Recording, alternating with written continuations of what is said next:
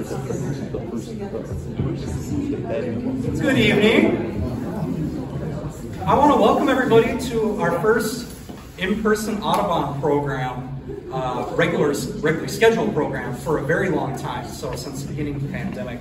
And uh, it's good to be back together with you uh, in this place, the Unitarian Universalist Congregation of Duluth. We're thankful for them uh, for allowing us to be here for our programs this year. Um, We'll start with a couple announcements. As you might know, and some of you have already been on them, on Tuesdays in September, we've been having fall warbler walks when they're not rained out, which is what happened this week down at Park Point. So if you're available at 7 a.m. Uh, this next Tuesday, you can meet Clinton and Christina down there uh, for a walk about the beach house area and the fields and all looking for migrants. Um, we also have, uh, just to stay on the lookout for, uh, late October, early November, we like to do a North Shore trip. I think we're gonna rename it from North Shore Sea Duck Trip to just North Shore Trip because we tend to see more Phainopeplas lately than we do sea ducks, it seems like. So, uh, so be on the lookout for that. And then also on Sundays in November, uh, Clinton and Christina go down to the Superior Entry for Gull Watch as well. So look out for some announcements for Gull Watch. Uh, we'll start the way that we always like to do. If there's any observations of anything you've been seeing recently.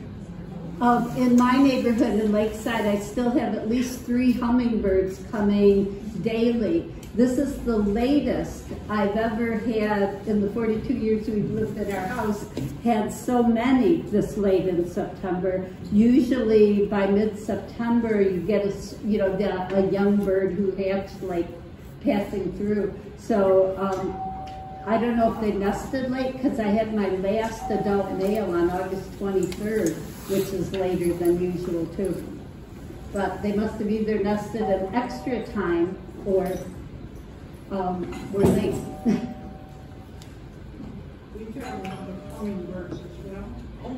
And, uh, juvenile, uh, rose-breasted drosky, golden blonde, thrashers. We still got our thrashers too.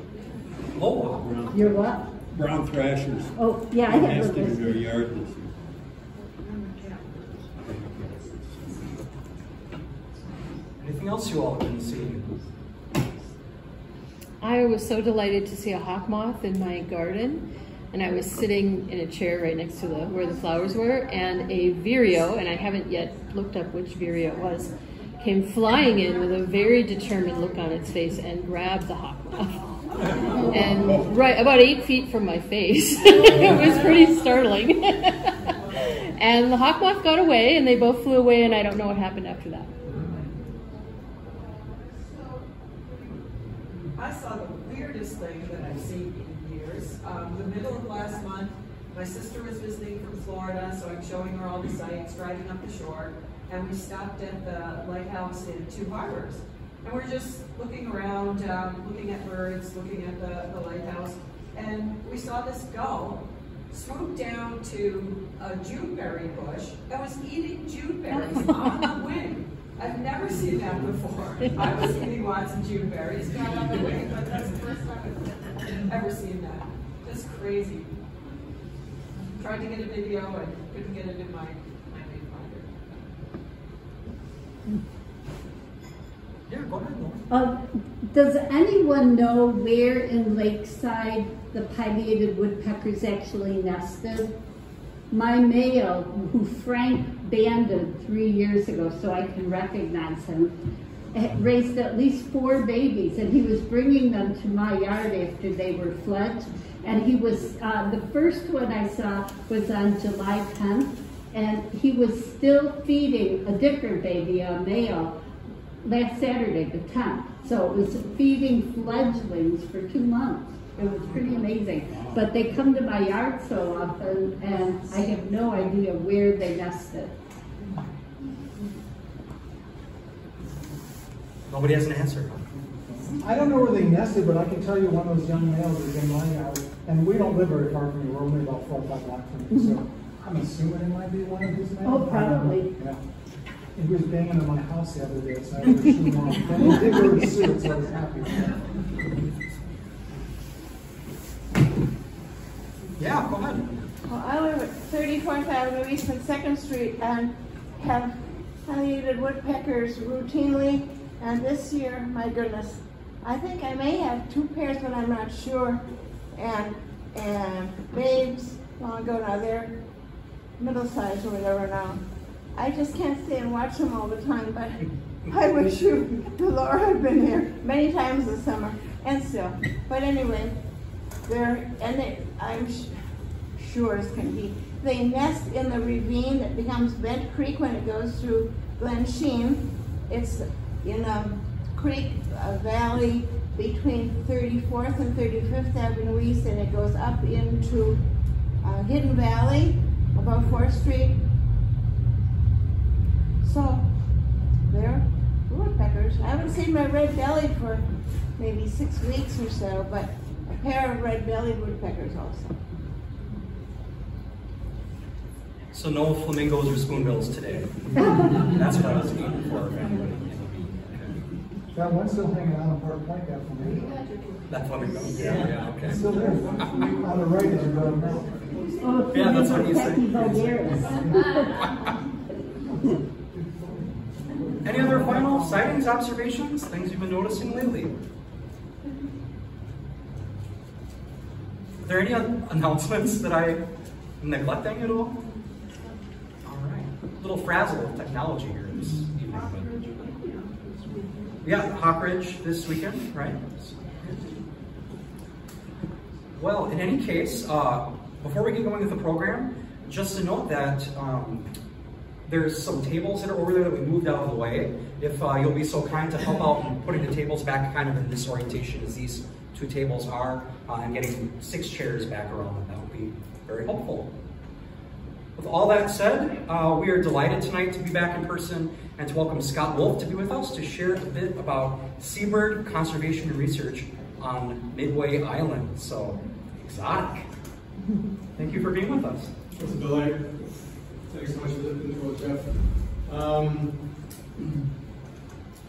so I, every time this happens, I don't have a lot of experience melding computer to projector, so we have a few fits and starts, but um, we'll see if this is working well. What did I just do? It's up. What's up, John? There we go. I blocked it. Um, And our cord is short. Um,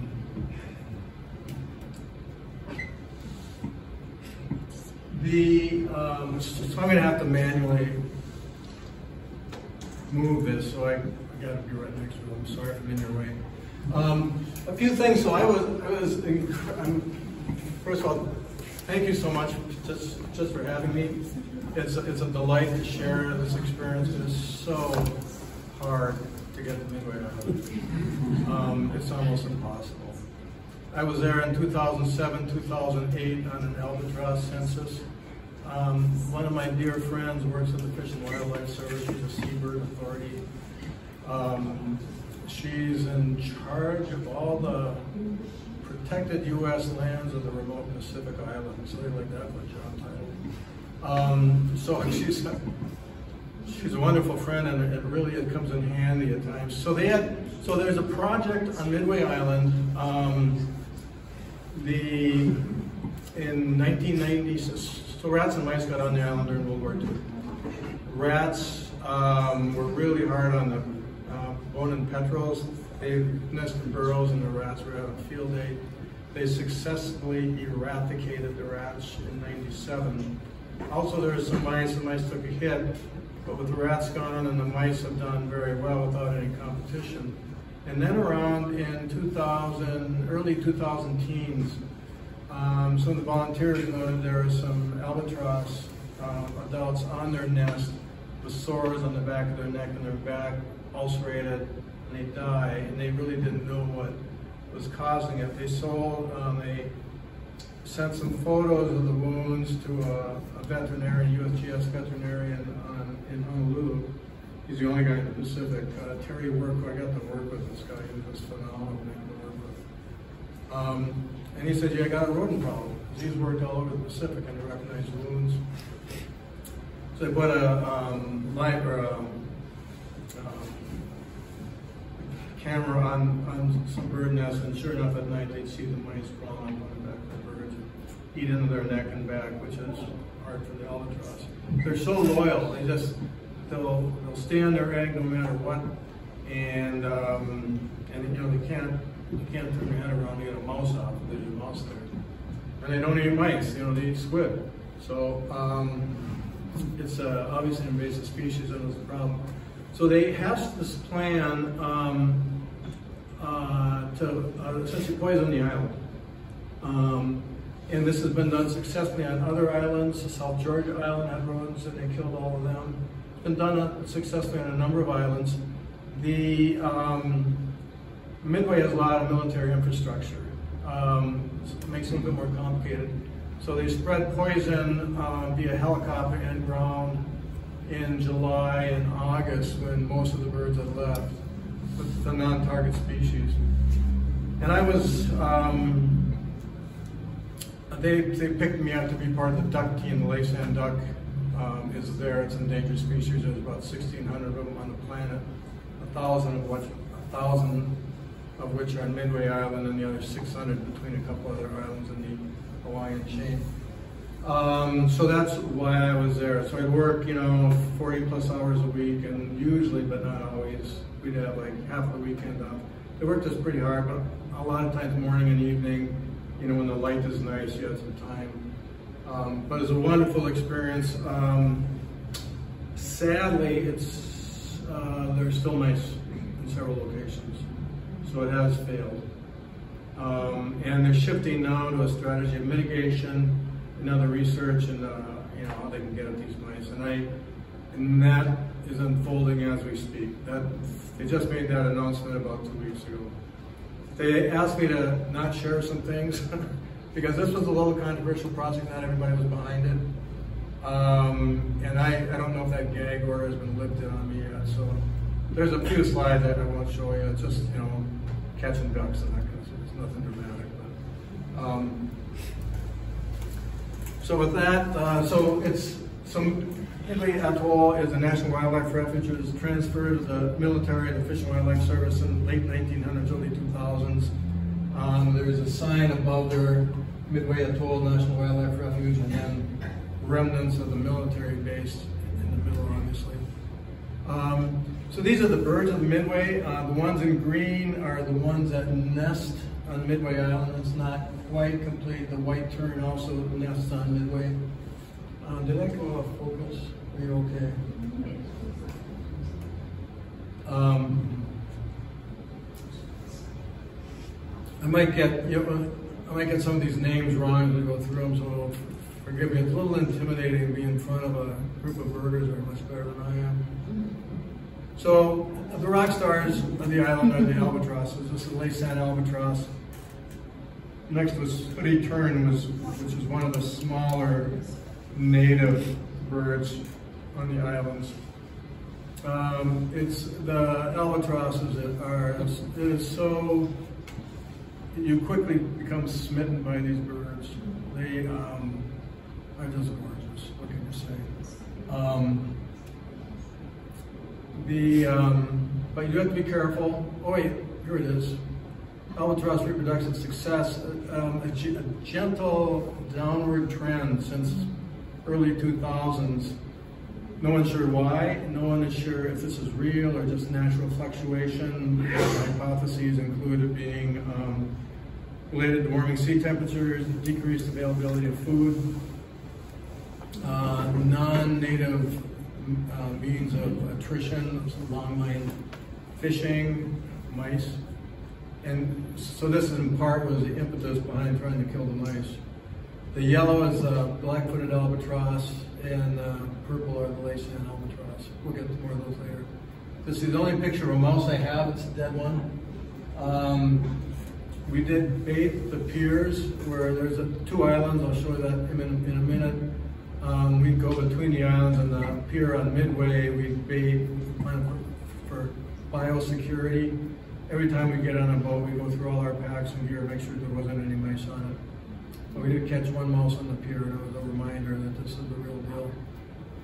Um, so this is the guy I was working with. This is a Laysan duck. Um, this is an unusual one, and I was late in my. I was there for about six weeks. This was week four, and I found a duck that hadn't been banded yet.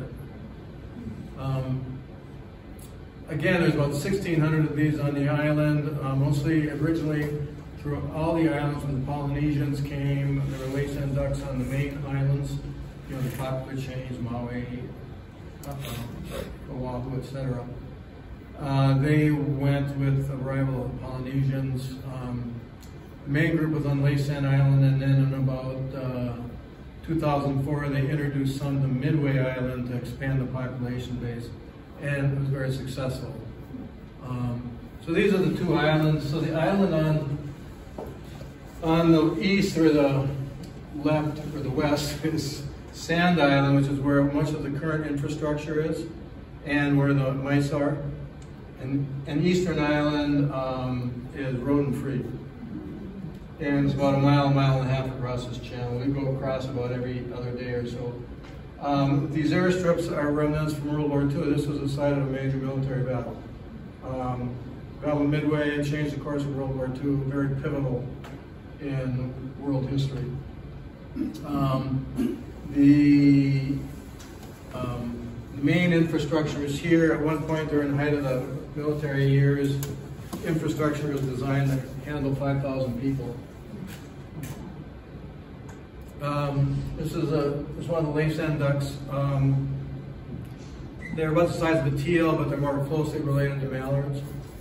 Uh, this is a Laysan and a gray-tailed. I think that's right. This is where I get nervous. Gray-tailed is a tattler. Um, it's not a wandering, but it's, there's two of them. Um, I think there's just some of the, the duck. I included this photo. This is the only photo I have of a Laysan duck in flight. They tend not to fly very much. Um, the, uh, but it gives you an idea of the density of the birds and also some of the military infrastructure. This is a air base uh, structure, probably dating back to Vietnam days. Are those all albatross? Those are all Laysan albatrosses. And there's their babies up in front there, the little brown, dark fuzzy things. Oh, those are chicks. We'll get to those, yeah. So the time I was there before, they were just on nests on eggs, and this time I got to see the chicks, which was a blast. Where they nest that the other? They nest on both. Nice. Yeah, they're all over both islands. Very heavy. So this is on Eastern Island. Again, we go over there every other day. Uh, we're moving the birds from Sand to Eastern, and we um, check, make sure they had enough water and food. Um, very labor intensive. It was interesting as we adjusted our technique as times went along because it's just not enough labor, not enough people to to do the original plan. And it was, um, you know, the sun is very intense. It's uh, it sounds tropical and, and inviting, and kind of is, but but the sun is really brutal. Um, this is me uh, cleaning out this what's called a guzzler. It's a sweet, we pump in water for the ducks to drink and swim, and ducks, as you know, are messy. And this one is mostly clean, but I just wanted to get a shot of myself in action, dealing with. Um, I called myself a, an EDS. It's a endangered duck poo technician. uh, we're just working on some shade cloth here. Um, we have a little shed there, and we that's where we keep our supplies. All the transportation on the islands mostly is by bicycle or foot. Uh, a few golf carts that have to move heavier equipment. And this is a, a female with, uh, you can see some chicks in behind her. That was on Eastern Island. Uh, she was, I mean, they were breeding on Eastern Island and hatching chicks. That was really good to see. Um, down here you can see a brood, a brood of ducklings outside one of our guzzlers on the ramp and Laysan albatross and chicks all over the place. Uh, again, the brood of ducklings, they're so stinking cute. Uh, this is Super Mom. We, that's what we call her. She had, at one time I counted, she had 32 or 36 ducklings with her of varying ages. Really interesting. She would, um, I don't know why these ducklings would go to her. Maybe she was more aggressive defending her water source or something. We don't know. But it was, really cool to watch. And there she is again, Super Mom. um, a bunch of ducklings around there. There is a pod, there'd be a pod of spinner dolphins in the lagoon or um, in the atoll periodically and every now and then moving to and from the island. They'd, they'd come in and follow us. It was a lot of fun. A couple of other staff and volunteer I worked with, we did the math. I was the oldest guy on the island. This is, uh, this is a building I lived, the house I lived in, uh, with the gatekeepers always present. Uh, native, non-native mammalian species, I think the other one is a monk seal, is what, this is, they're endangered. This is an adult territory in the North Beach of the Sand Island. Um, he patrol of that.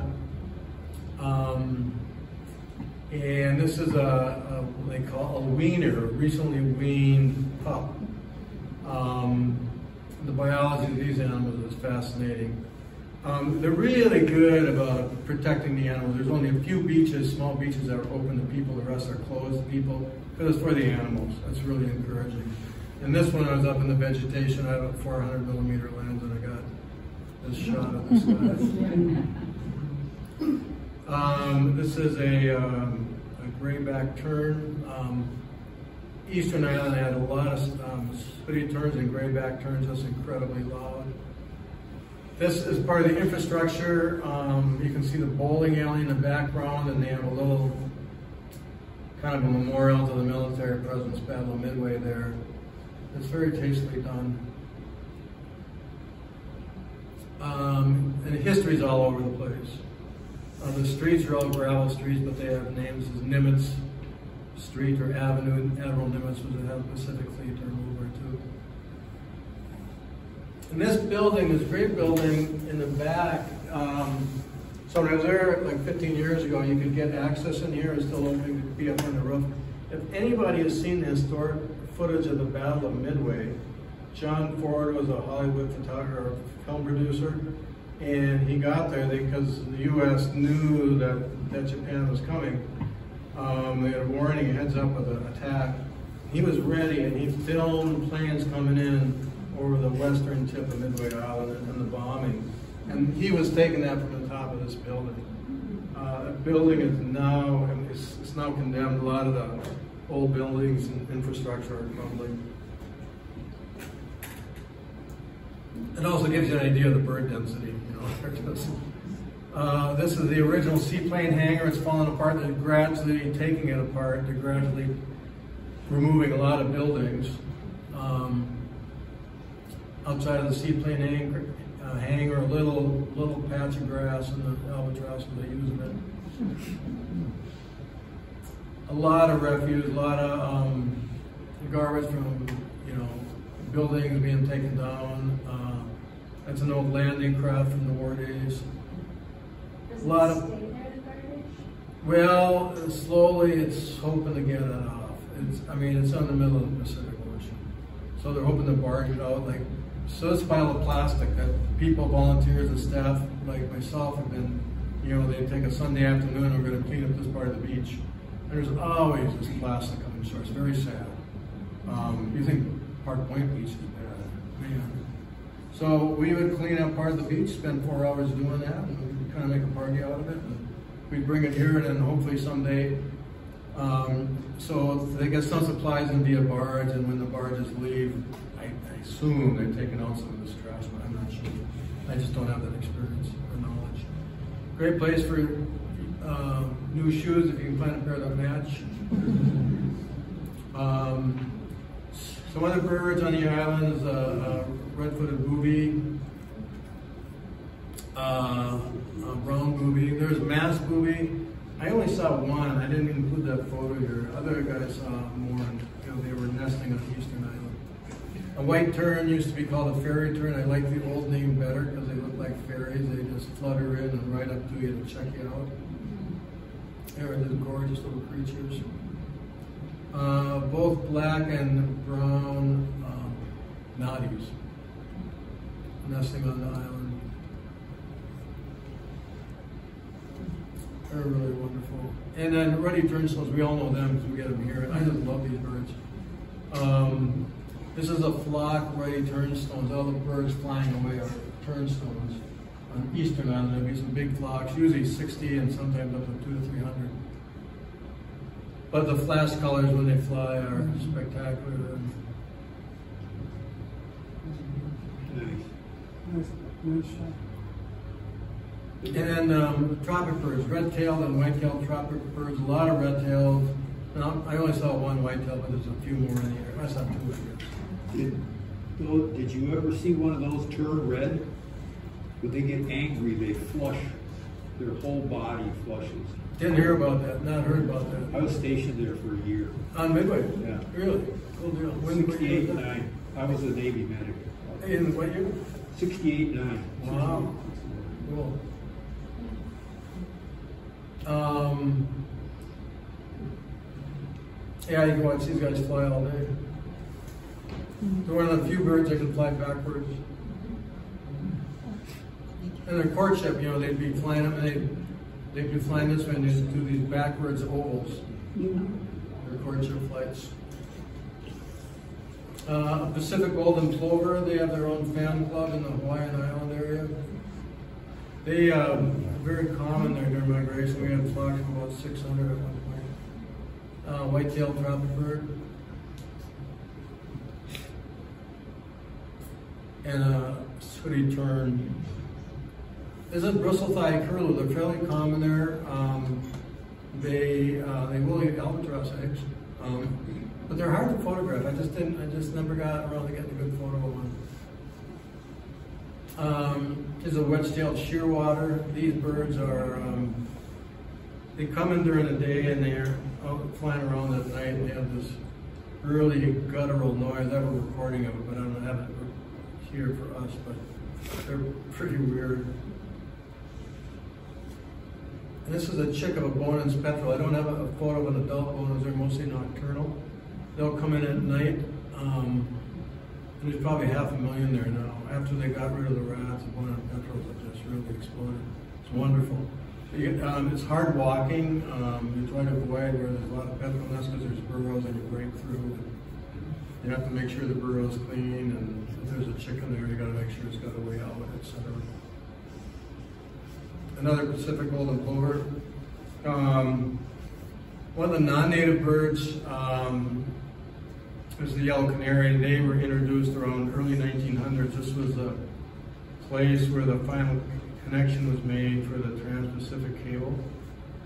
Um, and there was a pair of canaries coming over with one of the staff or family working for the cable company. And they um, have done pretty well, and it'd be a, until recently, actually. There may not be a, there may not be any more. Um, and that wasn't a great loss to the Fish and Wildlife people because they're trying to uh, kind of res- restore it, you know, restore it to its native state. I was told uh, canaries are gone, which is okay in a way, but I did think it would be a very interesting study of genetics over the last 220 years, all those birds just from, you know, from uh, from the original two birds, and they had weird blotches of color other places on their body. This is another non-native bird. Um, this flew in during one night. Uh, this is a C-17 uh, air transport, U.S. Air Force.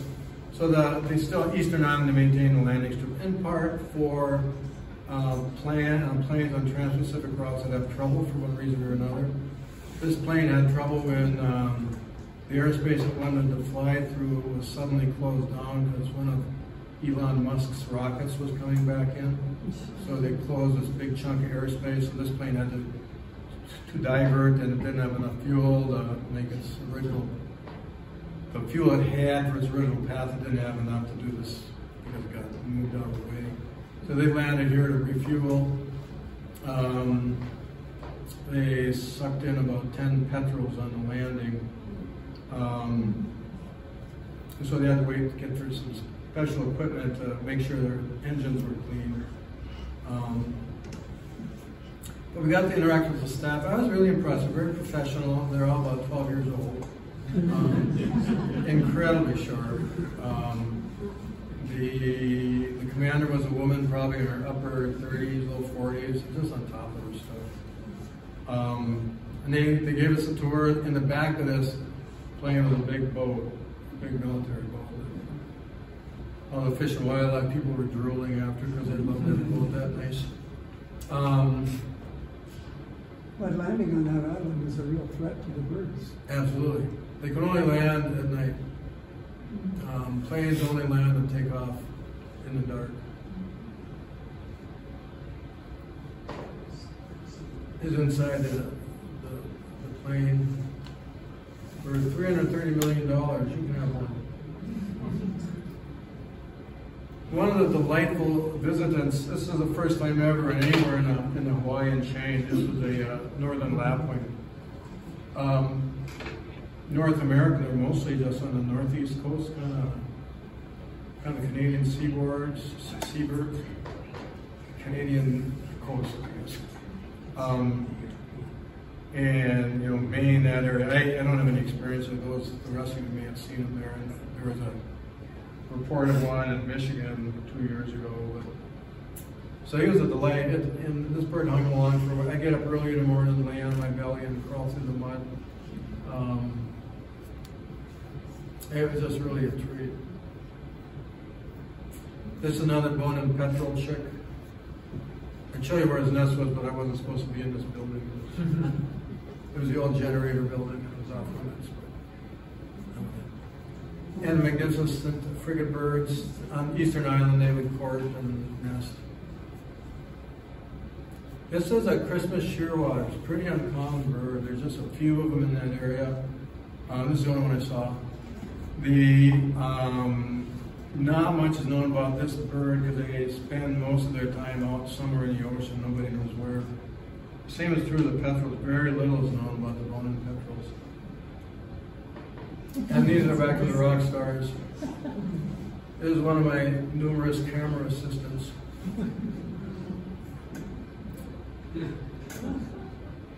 Oh shoot, there was a video.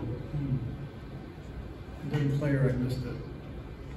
I, I was uh, I was going to tell you you have to be careful with these birds because they'll they'll um,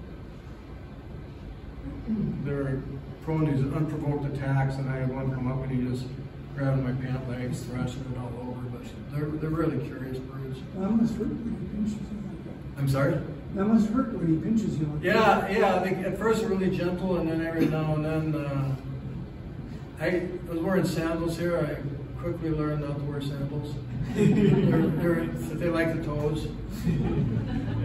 Um, there's a black black-footed albatross. Last census, well, there's about 590 some thousand Laysan nests and about 30,000 black-footed nests. But these black-footed, I don't know, they're just, well, they're all enchanting. Um, birds, when I was there, the ones that are doing their courtship dances, they're all like teenagers trying to learn to dance. All the adults that are successfully nesting are um, busy feeding their chick. They come in and regurgitate some slime from, you know, um, flying fish eggs and, and squid, and then they go back out for another load. Um, so this, these are some of the um, I call them teenagers that are trying to get the dance done. And don't, um, I have videos too that I hope I'll get alerted to when they,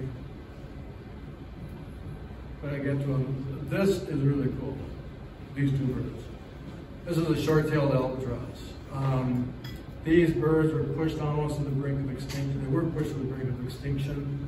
Uh, island off, there's a couple islands off the coast of Japan. The biggest one is Torishima, which had millions of short-tailed albatrosses. These birds are half again as large as the Laysan albatross.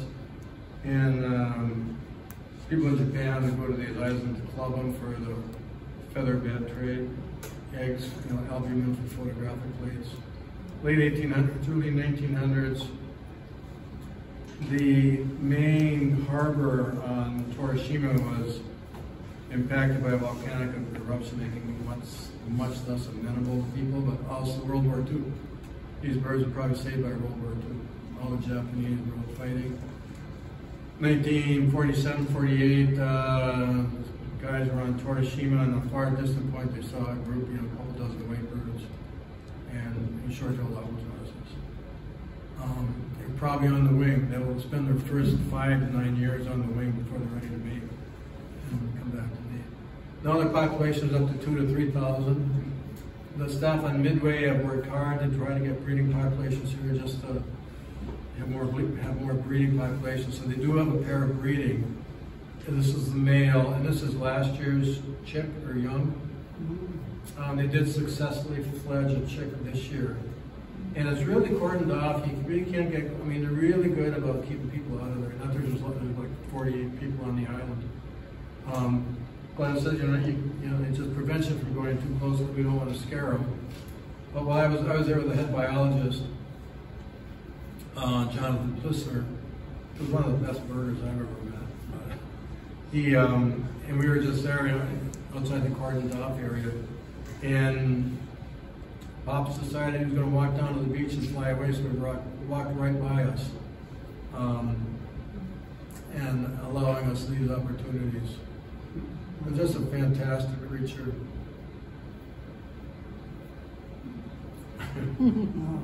yeah, there it was wonderful. I mean, the lighting was really bad, but it's what I had to deal with.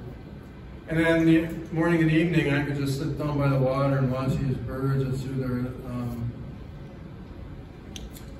uh, dynamic soaring, how they and other seabirds and gulls will take advantage of the wings to move over the water. Um, the tips of the wings sometimes will, will caress the surface of the ocean. Um,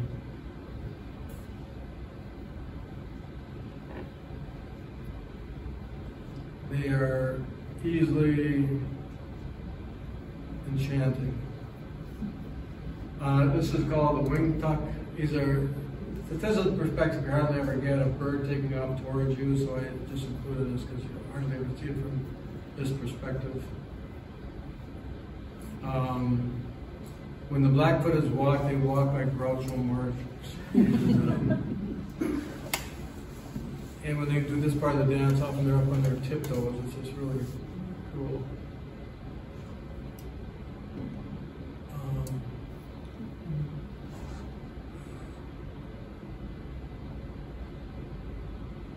That's not okay. Now the color's a little off on that screen.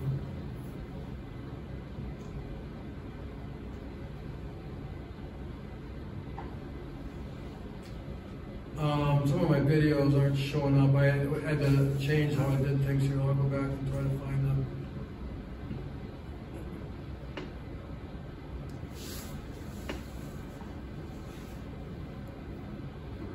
This is a chick relatively early on. I was there long enough to see him grow um, and start coming into some of their adult feathers before I left.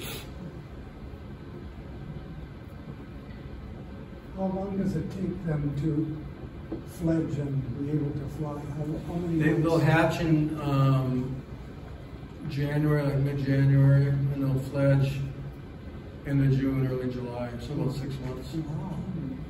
Um, this one outside an old bunker from the war days.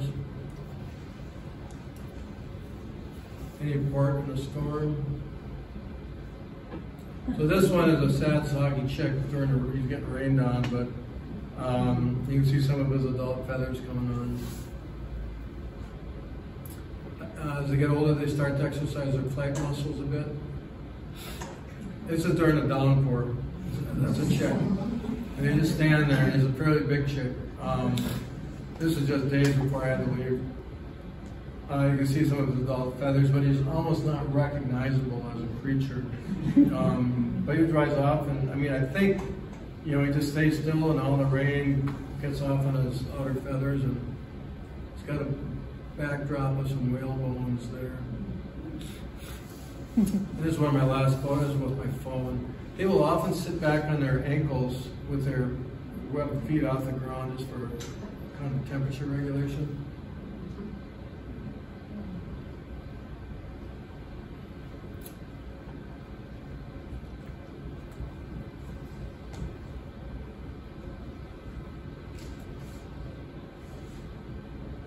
I'm sorry these videos aren't popping up for me. I can go back and I'll just manually do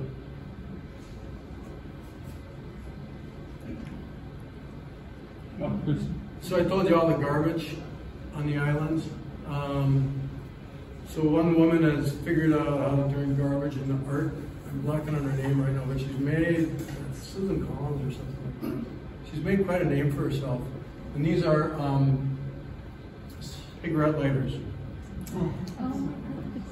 The um, yeah, the mo- two most common items washed up are bottle caps and cigarette lighters. And uh, when I was there before, they had a huge uh, cone, it's like six feet tall, big cone of chicken wire full of cigarette lighters. Just a, a demo. I, I think that's where a lot of these lighters came from, was the collection. Um, but she's made quite a name for herself doing this, and uh, my friend on uh, Honolulu in uh, Oahu who bought one of her works and is sitting at her house now. This is a nighttime uh, shot just of the memorial area. And this is my last shot. I'm going to back out and um, try to up those videos. Here we go.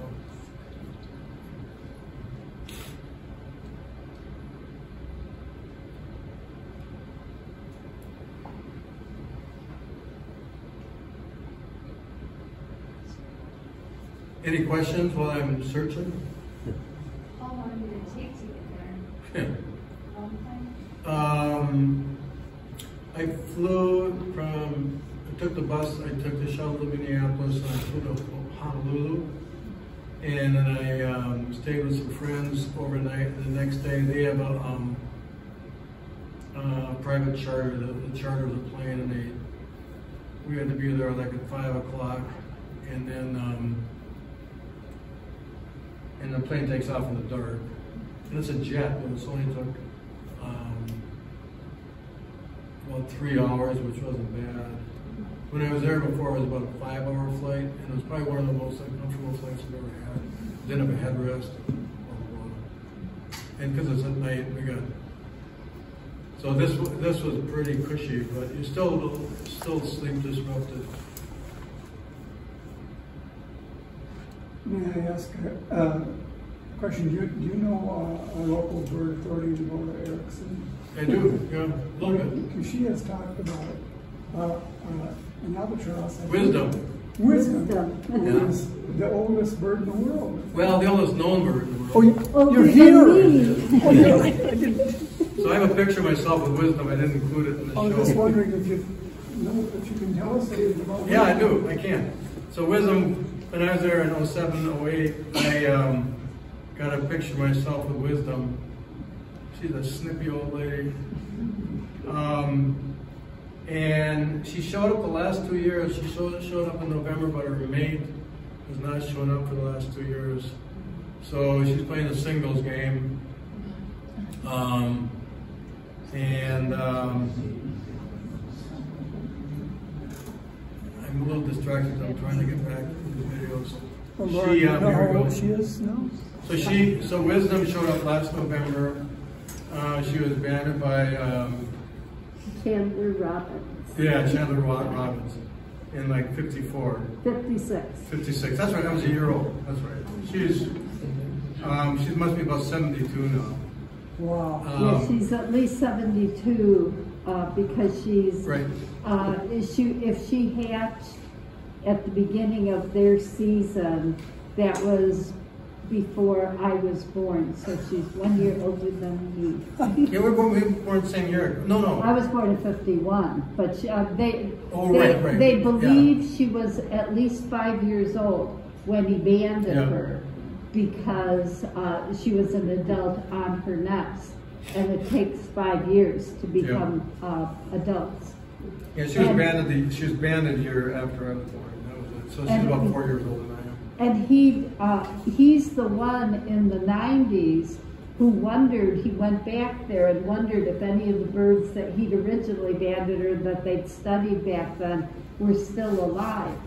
And they were not using computers for the banding Yeah. old records, they were all still on cards. And those bands don't last long, because the birds spend all year out on salt water. And so uh, if they retrapped a bird that already had a band and the band was wearing, they would change it and make a new card, but it just had the new number and the old number. And she had gone through like five bands, and so he had to go look up this number and then go through all the card catalog looking up this number, and that's how he verified that she was Yeah. there. The whole reason they started the banding project there was that they had decommissioned the island and were gonna recommission it during the Korean War, and were gonna, for the first time, be flying jets. And the army wanted to get rid of all of them, all the birds. Yep. And Chandler Robbins and a few other Fish and Wildlife Service guys said, uh, come on, how about if you let us study the birds, find out what substrates they don't like, and we can set it up so that they avoid the areas where planes are coming and going. And that was back when government agencies worked together, and so, Yeah, it's a great story. Was uh, some very forward-thinking people, and on both sides, there's some military Mhm. people willing Yeah. to consider some alternatives. Uh, they still did kill a lot of birds. yeah, but Um, the, the military's main concern was to not be killing the pilots. Right. and not to be destroying the aircraft. And, um, I mean, it, yeah, it was lethal, but killing all of them would have been. Yeah, and it turns out if you only come in during the night, there's, you obviate that problem because the albatrosses are not flying at night. The, um, we did, I, I, I have a zillion photos from this trip and I, I didn't include a few of them, I didn't include a lot of them, but I didn't include the majority. But there's another little story, we did ban, um, Wisdom's Grand Chick this, this year. So I have a little photo of that, of the banding, the banding procedures, this poor little guy, you know, why, you know, these people picking on me for? Is wisdom an anomaly or are there others that are like 40s, 50s, 60s? That's a great question. So there's a black-footed albatross in its sixties on the islands. And, I mean, Wisdom is the, just the oldest one we know about. There could be birds older than her. Nobody knows. Who would have thunk it? And nobody knows for sure how old she is. Seventy-two is her minimum Yeah. age. Yeah. So I was, I was listening, well, I, my friend in Honolulu, um, or in Oahu, I was waiting impatiently for, okay, is wisdom there, is there, you know? And she's, she's, um, people say like one bird doesn't matter, and in the population sense, you can make that ar- argument. But she is a celebrity, and she attracts attention for all sorts of people. and And one bird like that can make a difference in terms of public awareness. Absolutely. exactly what we Absolutely. need if we're gonna preserve any birds. Right, absolutely, yeah. And it's a wonder too, for any living creature to survive for seventy-two years on their own without any, anybody else supporting them and to find enough to eat and to think, that's pretty, that's pretty remarkable. Yeah, it is. None of us could do it. Keep Yeah. reproducing. Yeah. Does she become like Speak a little louder for Is, does she become infertile or is she still fertile at this old age? Nobody knows. It's a great question. She laid an egg two years ago? Yeah, she hatched a chick three years ago. Yeah, or she fledged one. Yeah. Yeah. Did you say the um, the Albatross stayed airborne for five years? I'm sorry? Did you say the Albatross stayed airborne for five years? Not, well, so as a, um, they can, like if I, uh, if I pull back up that map of the Pacific Ocean, these birds will fly north and they'll uh, forage off of, um, coast of Kamchatka, Aleutian Islands, northeast Aleutian Islands, um, up in the Bering Sea. They, uh, the black-footed albatrosses are more closer to coastal areas in North America, but they will be, um, they'll come in just to breed, and then they're gone. Um, if they don't breed successfully, they leave. If their chick dies, they leave. Um, they spend the rest of the time on the sea. They expend less energy flying than they do swimming on the water. When their wings open up, they've got like a jackknife and they lock. And so they spend no energy to keep their wings there. And the dynamic soaring, you see the gulls on the lake doing this. So they'll catch a, you know, they'll catch a wing, wind and they'll, and they'll go up, they'll gain elevation, you know, they go downwind a little bit, but then they'll just dive down through the surface um, and gain speed. Um, they can do that all day, all night.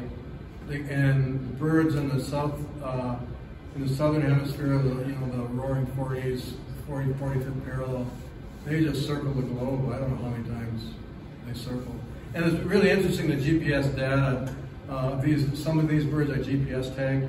There's a great book by Carl Safina called Eye of the Albatross. If anybody's interested, um, it's a really good read of the biology in the Central Pacific Islands. Um, mostly albatrosses, but a lot of other birds and sea, you know, little turtles, uh, some of the tuna, uh, just amazing stuff, and the people involved. And uh, uh, some of the adaptations uh, fishermen have done, the commercial fisheries have done to mitigate loss of albatrosses. Um, the North Americans are pretty receptive to it, trying to get the, the Koreans, uh, the Japanese, the Russians on board is a, is a harder sell. Um, here's one. Um, remember, these are teenagers. I don't know if the sound is going to come through my computer or through here. It's probably my computer. I'll turn it up. Through my computer, so it's not very loud. You won't hear it. But these are, I think of these are three teenagers at high school dance, you know, who's dancing with who. You see how they walk like Groucho Marx?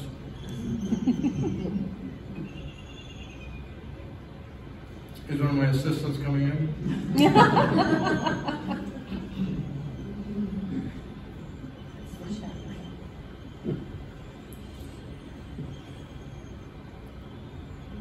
we'll, um, that bill clapping is really long. And the high pitched scream, it's deafening. Are you able to hear any of that at all? Is it really loud when you're there? Pardon? Is it really loud when you're there? Oh, yeah. Like all the time, like all day? Yeah. It's uh, it quiet down a little bit at night, but. Not entirely though. Yeah, it was, it was. I just go, I just go out in the evening and just hang out with these guys and. So can you interpret those actions? Um, so these behaviors have been um, studied and described in detail. I'm not an authority on them. The, um, there's a couple of maneuvers, repeated maneuvers. Um, I'll show you on a few of the others here. But if these are all teenagers, this is not related to me. These are practicing. They're getting ready for next year, you know. You know, the big prom in the fall. And so these guys are still kind of clumsy. They don't, they really don't know what they're doing. They're, who do I dance with? They're, they're kind of stumbling around. It's kind of like myself dancing. but, you know, um, the, um, let me back out and I had to change how I did something because we had some projector issues and uh, um, I'm just blaming it on technology rather than my feebleness. This is what it's all about. This is an adult coming in to, to feed her chick. But I'm, going to do that again and get the bar out of the way. Sure, that'll work. So they regurgitate this oily substance, you know, it's all squid, dissolved squid stuff. But look at that chick. He's just one bag of oil. And, and you watch them waddle, they, they're just a, look like a big balloon full of oil walking around. It's, it's incredibly high caloric stuff. Oh, this is one uh, unprovoked attack, a charged attack without provocation. Just a friendly investigation. Then I look up here. I'm sure. Um, here we go. We get this a little better. We get one. Um, there is, I have a really nice photo of some uh, black-footed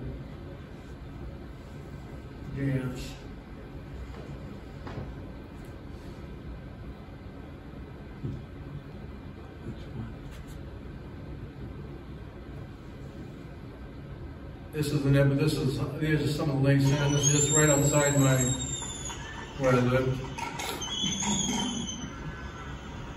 He's gotta get pretty good. You do that bill tuck, that's a wing tuck. Sky move. Wing tuck again.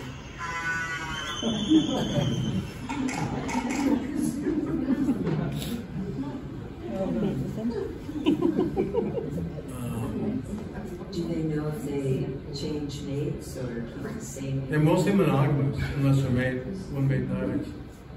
Yeah, they have all that, they have the banding records and all that, it's pretty interesting.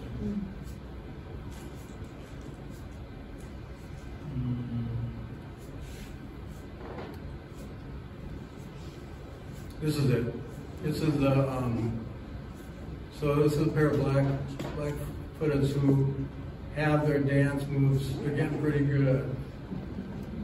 They're feeling lucky for next autumn.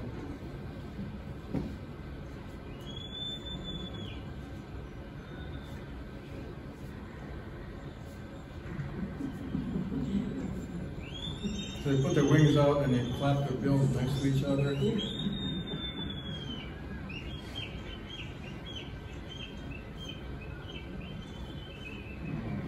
Yeah, that little dance is the best part. But they're very careful not to poke each other. Hmm? They're very careful not to poke each They're other. incredibly delicate. They can be very tender with each other, just nibbling or caressing each other on the neck.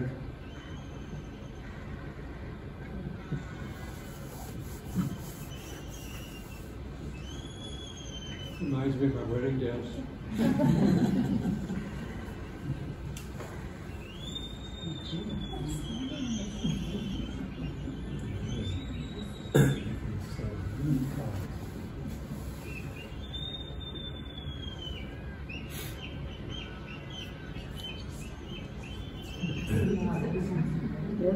How long at a stretch would they do this?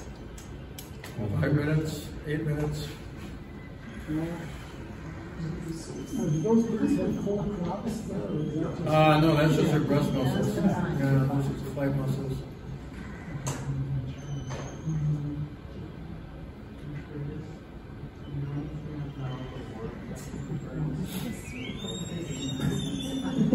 Um, no, there's no great record. I'm sure a lot of birds died. Um, How long, how long does this go The on? battle, you know, the actual, I love that they go on their tippy toes. I mean, the source is, uh, aim of the bombing, the infrastructure, landing strips and buildings, that kind of thing. Um, there's, how many birds nesting on landing strips? Um, so, yeah, I mean, people just didn't thank you for All righty. So cool. Well, we've come to the end of our time. Are there any final questions? I just wonder, how long does that courtship proce- display last? I'm sorry? How long does that courtship display last? You know, They'll do it all the time. Yeah. Um, once once the birds are on the nest, they'll they have this elaborate uh, kind of behavioral exchange of who's taking over the nest. You know, the one bird will be incubating the egg for for two weeks or three weeks. The mate will be out the sea and come back, and then when it's time for the incoming bird to take over the incubation job, the, bird that's been doing incubation, something, "Eh, I don't want to give this up yet. So they, they have this interesting little ritual, and finally the one gets off, and the other bird gets off, and the other one goes off to feed. And then when they have their chicks, they can't leave the chick away alone very long between feedings, um, days. Um, and then the bird gets longer, they can be gone for a long period of time, and they'll fly thousands of miles over the course of three, two to three weeks and come back with a load of squid. Are you banding those chicks then? the- I'm sorry? Do you band the chicks? Yeah, I didn't. Um, there, the, those uh, four younger folks were kind of, they have, they do for any of those who are any interested, um, they do have, um, they hire four volunteers a year for a four-month stint. I think they do it summer and, the summer season and winter season. And they do a lot of the banding, that kind of thing. Are there any theories on how they find their way back to Midway Island over and over and over when they're feeding chicks or when they're not breeding? I mean, I mean, to, to find the island I- in the middle of the Pacific. That's one of the mysteries, that's one of the beautiful things. I mean, how do they do that? They say, hey Siri. Yeah. I know they don't have So- GPS. So something I didn't know, so they have a pretty good sense of smell. Yeah. The gland in their brain, of course, in the brain that controls smell are pretty developed in these birds. And they'll fly over this ocean to you and I, it just looks like open ocean. But they can smell. But they can sense where the upwelling of the cold current is, where it up, and then they can smell squid. Like Um, twelve miles away. Yeah. As far as It just, this is what, I mean, we, we, all of these animals, we just know a fraction. We know this, this much, and it's, And, and we know that a lot of birds recognize star patterns to get direction and things. And like pigeons know what angle the sun is supposed to be in the sky at what point of time it is. They don't have a watch, but they know what time it is. And they use those kinds of clues. And they find the food and they find their nest, or, you know, for some of the ones that nest in burrows, they find those by smell. I'm gonna show off about my knowledge of migration. The latest theories is from Scott- Wiesenthal's book, Quantum Entanglement. If you read Ed Young's. I have no idea what that is. If you read Ed Young's book. uh, Yeah, I haven't read it all, I've read it. That, that Yeah. he tells you all kinds of Yeah. incredible really information stuff. about what animals can do that Yeah. we can't, and That's what I think- we can't do. We're just scratching the surface. Yeah. You know, it's really pretty slick stuff. All right, well, thanks you guys so much for your.